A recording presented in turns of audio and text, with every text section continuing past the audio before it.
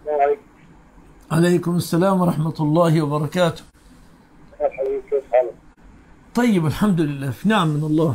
لا حول ولا قوة عايزين نسأل على حكم تأجير النخل. لو حد بيأجر النخل بس ما يقدرش النخل بس بيرعاه وكده وتنفع بسنة بس ما بيدي صاحب ال- النخل آه، يعني مبلغ بس.